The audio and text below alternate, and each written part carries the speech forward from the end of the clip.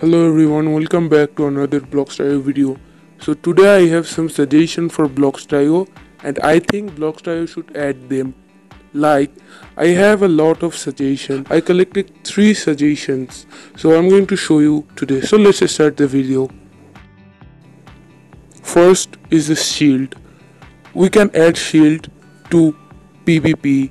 Like if Arthur shield that will be changed the PvP in survival. Number 2. So number 2 is our golden apple.